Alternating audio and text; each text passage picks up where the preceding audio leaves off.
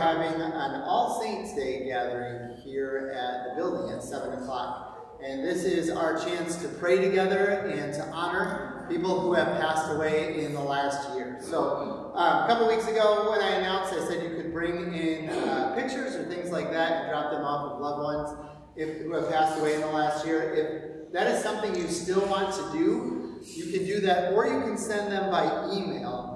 Um, but make sure that uh, you send them to Rebecca by Wednesday morning so she has a chance um, to get those all set for the gathering. So again, that's 7 p.m. right here in the gathering space. Um, also, next Saturday is one of our service Saturdays. We're going to be raking leaves right here in the Millwood neighborhood. So make sure to bring a rake or two and um, any, who knows what the weather will be. So weather appropriate clothing. And uh, we'll be walking around the Millwood neighborhood and helping out. That starts at 10 a.m. and we'll be right here at the gathering space. Um, so we here at Threads, we like to begin our time um, by saying our welcoming affirmation. So if you could stand up and the sides could face each other and then repeat after me. You are loved. You are loved. You are welcomed. You are welcome. You belong. You belong. In this place and in God's family. In this place and in God's family. All right, you can grab a seat.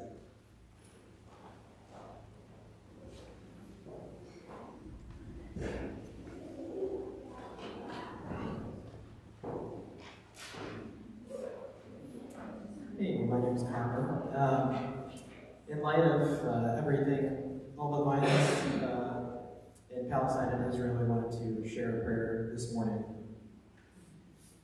O God of life and love and peace, we witness the violence and injustice in the Middle East, and our hearts break. Our hearts break for Palestinians, for the victims of violent attacks by the Israeli military, for those being denied water, electricity, and medical care, for those who are refugees, long displaced from their homes. Our hearts break for the people of Israel, for the victims of violent attacks by Hamas, for those who live with fear and insecurity, for those who suffer from the intergenerational trauma of violence. We especially pray that weapons of war be laid down, that walls of separation be dismantled, that prisoners be released, that demonizing of the other cease, that political leaders seek the good of all people in Palestine and Israel. O God, whose heart breaks for the world, may your justice dwell in the land. May your righteousness abide in fruitful fields. May the effect of righteousness be quietness and trust forever. May the effect of justice be peace enduring peace. Amen. All right, we're going to go into today's first word, which is out of Hebrews 4, chapter, or I'm sorry, chapter 4, verses 15 through 16. And this says, For we do not have a high priest who is unable to empathize with our weaknesses, but we have one who has been tempted in every way, just as we are, yet he did not sin. Let us then approach God's throne of grace with confidence so that we may receive mercy and find grace to help us in our time of need. We're going to go into a time of worshiping through music. I invite you to stand in body or in spirit as we worship together this morning.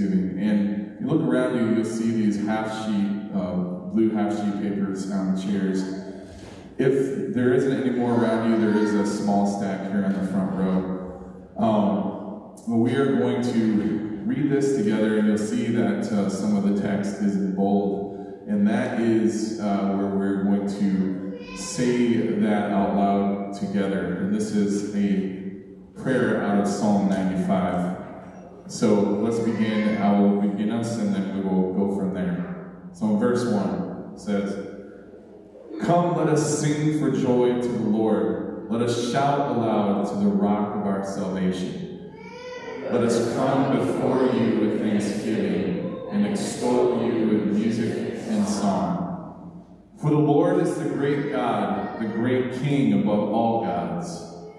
In your hand are the depths of the earth, and the mountain peaks belong to you. The sea is God's, for God made it, and God's hands form the dry land. Come, let us bow down and worship. Let us kneel before Lord our Maker, for you are our God, and we are the people of your pasture the flock under your care.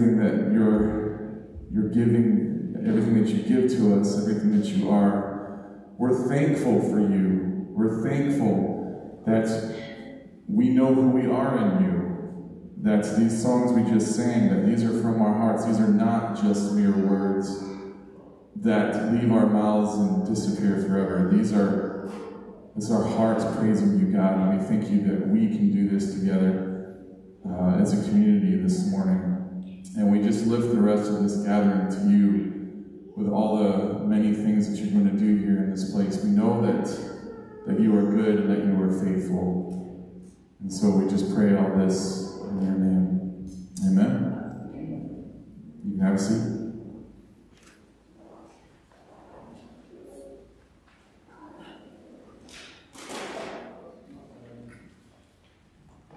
All right. Good morning, everybody. Um, my name is Brian, and I have the uh, privilege and honor of doing the spiritual talk uh, for you guys this morning.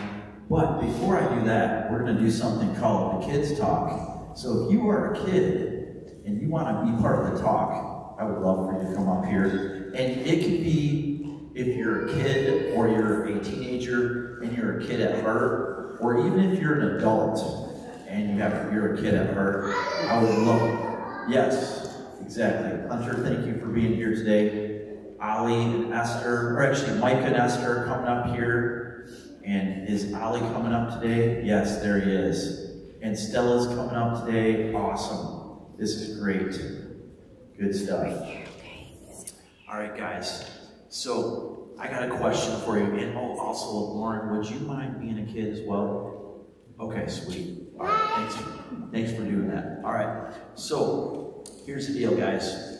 Um, have you guys ever been in a situation where you're in a long car ride and you're getting really bored and hungry and you just start complaining?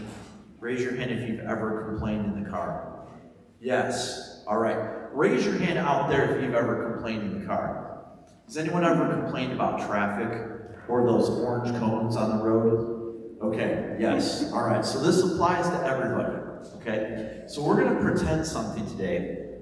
We're going to pretend that uh, we are the Israelites. Okay? And they wandered through the. Alden, thank you for being here. I wore him down. Alden came out. He wasn't, he refused, but he, he gave in. Thank you, buddy. All right, so Joey, if you change your mind, same with Gideon and Debs, come on up here. But anyways, so the Israelites, they're they're wandering in the desert. You guys know where the Israelites were trying to get to? Okay? They were trying to get somewhere called the Promised Land. Does that sound familiar to you? Okay, and they and when they were going throughout the desert, they were getting real grumpy. Okay, they were thirsty, they were hungry. Um, it was, you know, a desert's not a fun place to be. So we're going to pretend that we're in a minivan with Moses. What do you guys think about that? You guys like that? Okay. So here's what I'm going to do. I have this little skit. And it's going to be kind of weird because I'm going to be Moses and I'm going to be a kid at the same time. So my Moses voice, here's my Moses voice. Hi, I'm Moses. Okay? And here's my kid voice. Are we there yet? Okay, so so here, here's the deal. When I do the kid voice, I want you to repeat after me. Does that sound fair? So we're gonna practice. Ready? Are we there yet? Are we there yet? Dude, that was excellent. Well done. All right, you guys ready? Now we're in the van. We're going to the promised land. Ready? Are we there yet? Are we there yet? No. Are we there yet?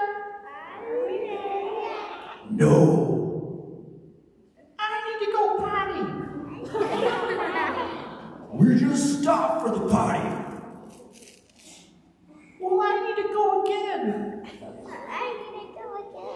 Too bad. I'm hungry. We just ate, kids. Oh yeah, that's me. Okay, sorry. I gotta get my story straight here. My bad. Okay. All right. Can you tr- uh, Can you turn the radio on? The radio's broken. All right. Let's see here. Um, Are we there yet? No. I need a drink. Where are we? We're in the desert. all right. So you guys get the idea? That's kind of what it was like. The the Israelites are traveling, and what were they mostly doing? Whining, complaining, right? Okay. And Moses was getting pretty frustrated with that. Okay. And you know what? Do you think their complaining made them get there quicker, or did it take longer for them to get there? Longer. In fact, it took them so long, it took them 40 years. That's a long time. 40 years of wandering through the desert. Okay? So, so this is just a little lesson for you. Instead of complaining about our circumstances, what can we do instead? What can we do instead of complaining? Accept it, yes. Okay? What else could we do? It starts with a P. Right. Pray, yes. There's an old saying. It comes from a prophet named M.C. Hammer. It's, we got to pray just to make it today. Raise your hand if you know that prophet, M.C. Hammer. Okay, right on. So you can try that. So I want you guys to say that with me. Ready? You got to pray just to make it today. Yes, one more time. You got to pray just to make it today. Hannah, don't hurt me. okay. Okay, so, anyways, all right, guys, we're gonna I'm gonna pray for you right now. Ready? Dear Jesus, thank you for this day. Thank you for these kids, and just thank you for their hearts for you. Uh, pray as they go through the different circumstances they encounter in their lives with, uh, you know, the challenges of school, uh, the challenges of, you know, uh, just waiting in the car, uh, challenges of just having times where you don't feel good, all those things that we go through, um, just pray that they can trust in you and trust that you have everything taken care of. God, you are the generous giver. Help us to always believe that and trust in your uh, plan for our lives. And we pray this in Jesus' name. Amen. Amen. All right, guys, way to go. Can I get a fist bump for the road? There we go. Awesome. Thank you so much. Okay. Esther, fist bump for the road? Okay, I denied. Okay, that's all right. That's okay. It's not the first time I've been denied a fist bump. Okay, so we're good. All right. Okay, so now we're going to get into the adult portion of this. And just so you know, um, we do not have kids' community today um, because it's the fifth Sunday of the month. So the kids are going to join on an awesome job. She made up this little uh, packet of things to do. It says the wilderness, and it's all about what we just talked about. And feel free to grab one of those. They're in the back over that white shelf with the books, and there's crayons, there's colored pencils, and all kinds of good stuff out there. So you can feel free to grab one of those. All right? So, um, we're beginning a new series today. How many people get excited when there's a new series? Okay, how about a new series on TV? Right, yes, you're like, yes, new series, okay. So this, this new series, we're going to look at biblical stories and reflect on the human reaction to Dun dun dun when things fall apart. Okay? How many people have ever had something fall apart on them? Yes. All right. Okay, so you're in good company. Okay, a lot of us have grown up hearing stories about God and His mercy, and we sing songs like Amazing Grace, right? Um, even though most of us who grew up in a church setting are familiar with the narrative of God's grace and forgiveness wiping out our mistakes, it's not easy to remember how that comes into reality when we're the middle of a disaster or we fall into disobedience or despair. But we all do. We all have these seasons or moments of meltdowns. Raise your hand if you've had a meltdown recently. Okay, see, it's funny because we think we outgrow that at the toddler stage, but it continues long after that, right?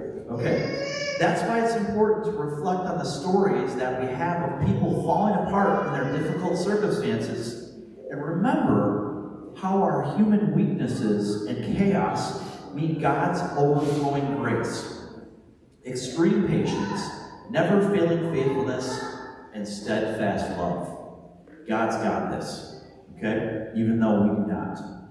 So, uh, there's a little background here. And by the way, I just need to give credit where credit is due. Um, Alice Goodrich came up with this whole beautiful spiritual talk, so I just want to make sure she gets the credit. All I'm doing is just delivering it. So, thank you, Alice. All right. Sorry if that embarrassed you. My apologies to you and your family. Okay. All right, so, anyways, um, today we will be in a small group discussion, okay?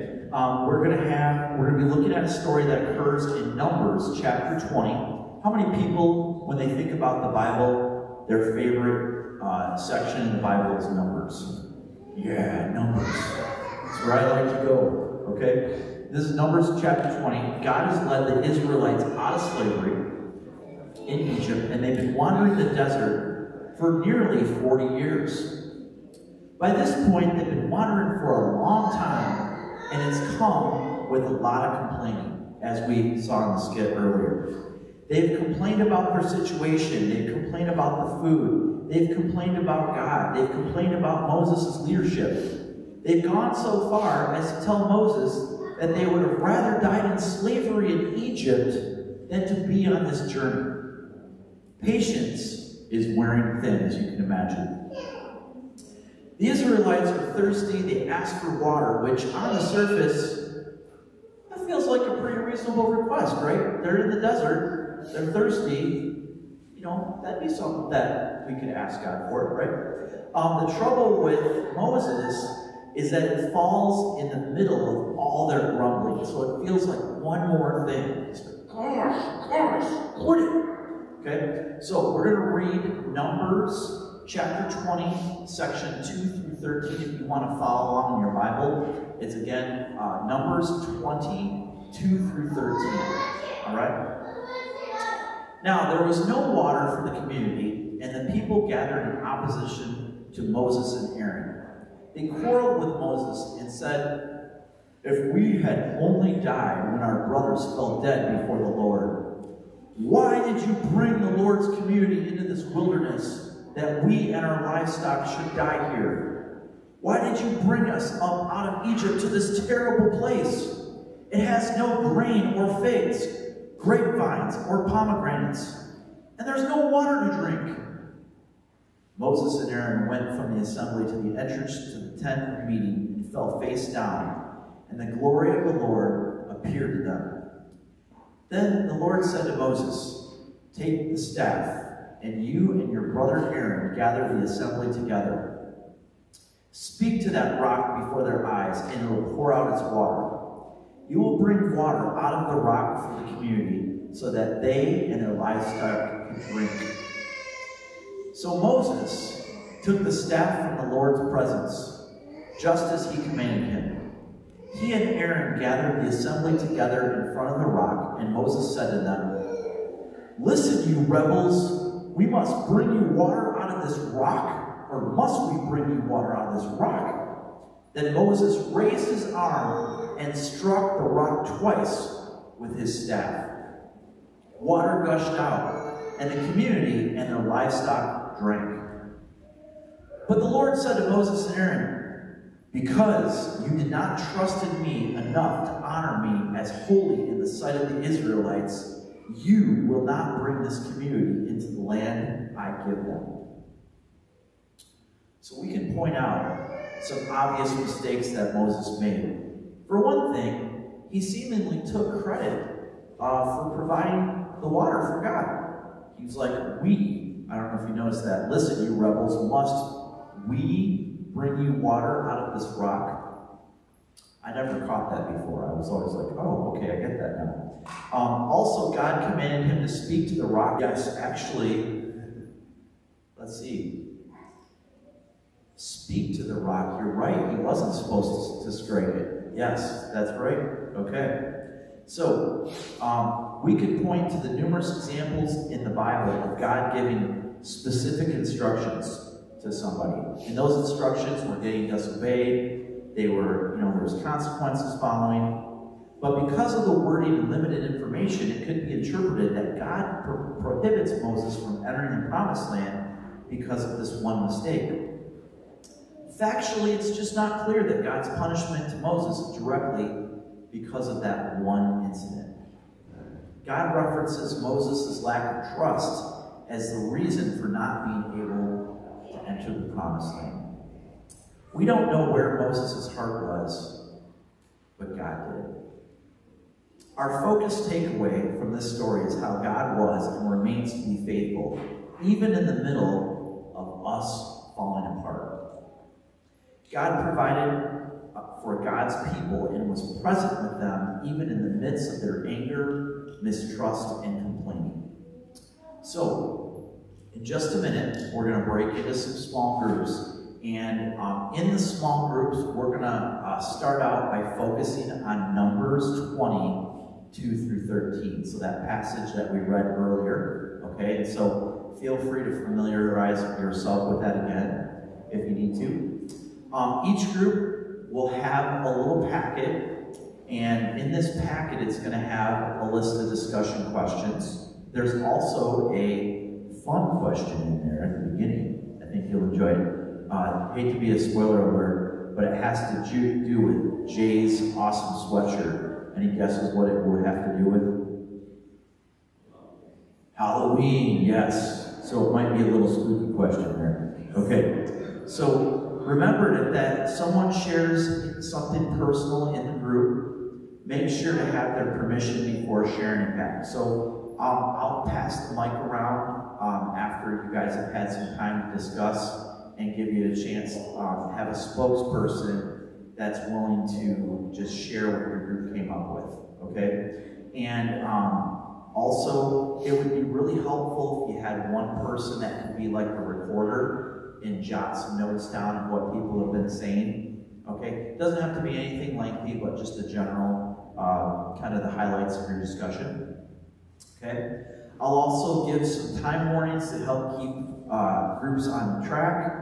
And it's a good practice to pray before engaging in, in Scripture. So I will do that right now for everybody. God, thank you for this time together. Thank you for uh, the fact that your word, uh, even though it was written a long time ago, it's still relevant today. Um, we have times where we go through life and we just complain and get angry and uh, we just get so upset about sometimes the littlest things. Uh, God, help us to gain uh, perspective, really remember to trust in you, even in the most difficult circumstances. Just pray for everybody today that um, this word can uh, just be embedded in their hearts and in our hearts, and just pray uh, just for your Holy Spirit to be here with all of us. In Jesus' name, amen. Okay, so um, Alice is going to pass out some handouts here. But what I'd like to do, if we could get into groups of like maybe five or six, I think that would be a good size, um, just around, uh, around you or nearby you, um, and just and have and uh, Alice will come around and give out the handouts. Actually, Carmen and Alice will be that dynamic duo. Okay, so go ahead and find a group about five or six, and we'll get it started here.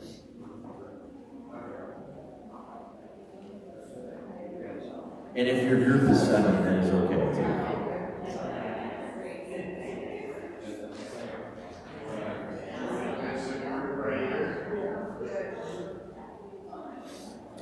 And just so everyone's clear, um, I'm going to give you guys about 15 minutes for the side one and about five minutes for side two. That's about what we gauged uh, for the amount of time. So 15 minutes to start. And if you want to reread, oh, sorry, yeah. If you want to reread Numbers 22 through 13, that might be helpful for your group if you want to.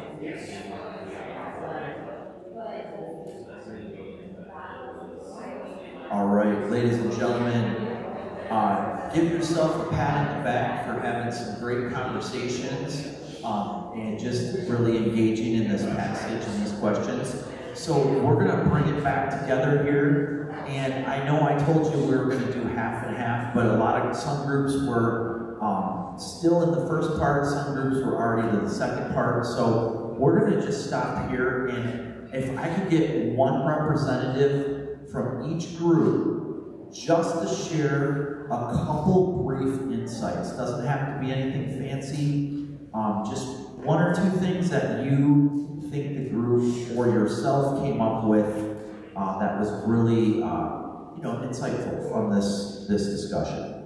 So we have a volunteer. Looks like Harold. Thank you so much, Harold. Let's give Harold a round of applause for starting it off. Yes, we can do better than that. Let's give Harold a round of applause. Yes, thank you. Thank you. You're far too so what stood out to our group when we talked, we talked about a little bit at first was we were curious kind of like how bad off were they, right? Is this, oh, we haven't had water for a couple hours, a day? Because we can kind of relate to like the complaint, right? If you're going to complain about something in the desert versus having just been a slave, was it, it had to have been pretty bad, right? So like, you know, do you just, we be in a place ourselves to be trusting all the way to the brink of death and be like, oh, we got this, we got this all the way until we feel like it's going to be your end, or would we be kind of hasty too uh, out there? So that was one of the things that stood out to us. Um, and yeah, I'll leave it. Thank you, Harold. Let's give Harold some snaps. Yeah, snaps. All right. So, uh, who would like to share next? Travis, thank you. Um, so I'm trying to synthesize what uh, we talked about. Uh, we're on the first page for most of it. Um, I think the, the big theme would be responsibility. Um, when we were talking about anger, uh, talking about what you're angry about. Um, uh, so you, you have the responsibility to act angry for justice, right? Not angry at someone uh, or something. Um, and then the other thing I think about responsibility um, Ed brought up was Moses had led them, done all these miracles, um, they had faithfully followed. Um, but you have a responsibility. So as the followers, you have a responsibility to be patient, right? You you have the opportunity to be angry. If you're thinking about a car ride, you have the opportunity. You have the space to be like, man, we've been in this car for a long time, but you still have to be in the car. But on Moses' day, he he can be angry. He's still human. He's also interacting with the living presence of God, and so to disobey, that's that's something that he didn't take seriously. It's something we have to consider. So responsibility. Thank you for quoting Spider-Man there. Yeah, Okay. All right. So, uh, let's see any other volunteers? Oh, Esther, thank you. So I was thinking two of the things that we talked about were um, that we could totally relate to all of the humanness that was going on with the Israelites. Um, that it's really easy to know that something is going to happen, but have really unrealistic expectations about how it's going to happen. Like, especially even like as a parent, like we tell our kids we're going to do something, and they're like, "Well, you said we were going to do it," and you're like, "Yeah, but that's not what I meant. I didn't mean like right now, or like I meant a week from now." So having those misaligned expectations, um, and then we also just talked about how God, we because of God's goodness and patience and slow to anger, that it's not like He ever intended to not provide for them. Like He was always going to provide for them. It was something about this dynamic of how they were living in community together that God was like pulling, was pulling out of them this like want, this desire to be community with them in a certain way um, that they just weren't getting. Thank you guys very much. Awesome. Um, let's see here. I believe we, we have two more groups to go today. We have, let's see, here, the volunteers, Carmen? You're looking like you're, oh, never mind, just kidding. We have, One of the things we noticed was the lack of gratitude and the importance of having gratitude for the, uh, um, so in the last question we did was asking, um, what sets anger as a whole emotion from anger that causes people? And the, I thought about how Jesus was angry, and that was how as a young child, I was pointed at that there is a place for anger, for righteous anger, and the difference lies within um, purpose. Like Jesus' anger was that what was happening in the temple was separating God from the people, and that, that kind of that's like the only place where we really have anger, where there's actions that are separating us from um, you know, from being near to God, and that our, the anger of the people was really coming from gratitude. So that is important for us to have a gratitude in our lives. thank you so much, Linda, appreciate that. And last but not least, we have uh, this group up here. Let's see who's our brave volunteer. Is it- The Carbonator figured it out. I didn't, I didn't think that. I feel like uh, a lot of a lot of points have been spoken on, um, similar to what Joe were thinking, but especially the, the final part. It's interesting to um, think about the fact that, especially worded as anger, anger being a holy emotion, um, and to realize, you know, in some ways, being human as holy, and that it's important to have um, that response, but in the in the righteous way. I don't know if I did a great job of articulating um, the difference that I identified. Uh, but is it-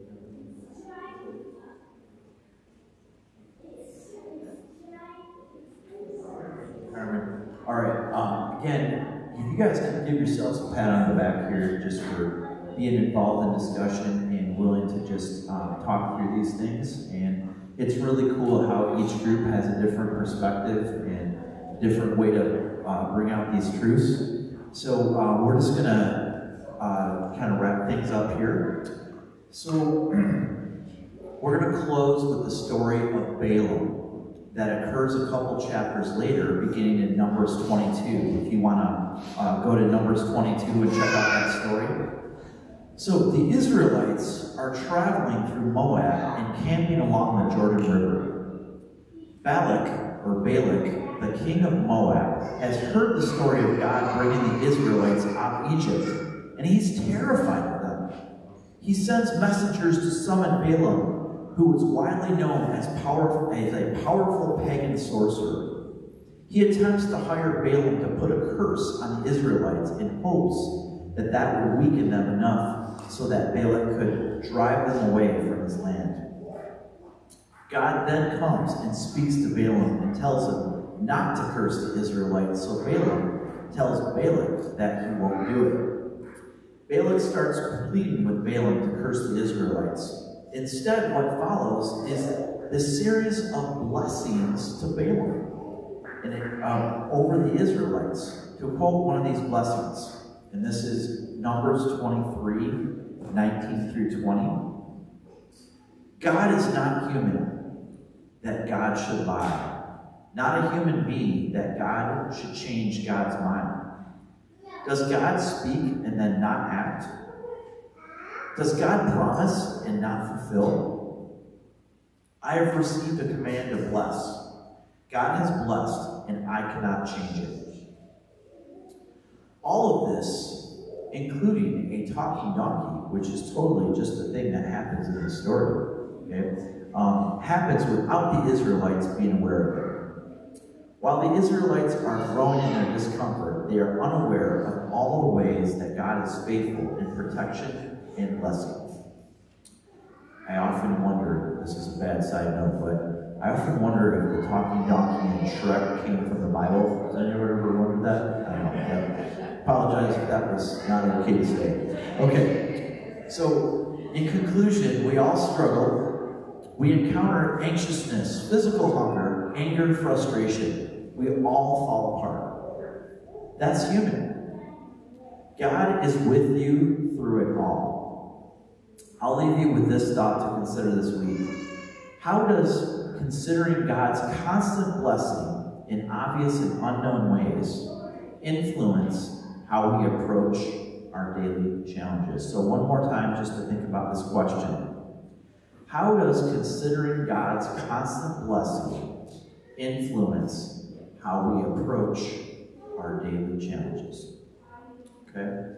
And um, on that note, we're going to uh, go into a time of worship through song. Okay? And actually, just kidding. Well, we are going to do that, but we're going to have something called communion response. And uh, so if you want to come up here and uh, there is, we have regular bread in the basket, we have gluten-free bread over here, and we have grape juice. And this is a chance just to, you know, get right with God or talk to God and say, hey, God, these are the ways I've fallen short or the ways I've, I've messed up. Can you please forgive me? And taking that body and blood, that is just a symbol of the sacrifice Jesus gave up for us. And so it's like dipping that in. I always think of it as, you know, once you're doing that little, um, that practice of eating the bread and the, and the, and the grape juice, it's like a chance to just say, God, I give you all the things I've messed up. Please take those from me. All right, so, and uh, Willis is going to play a song um, in worship, and so we'll begin now.